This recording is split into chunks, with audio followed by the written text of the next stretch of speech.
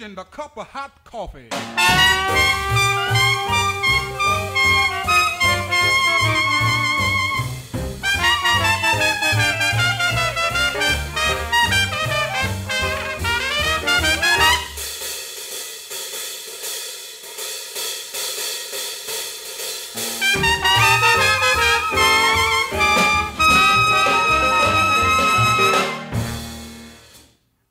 Was really bopping that time, wasn't it, folks?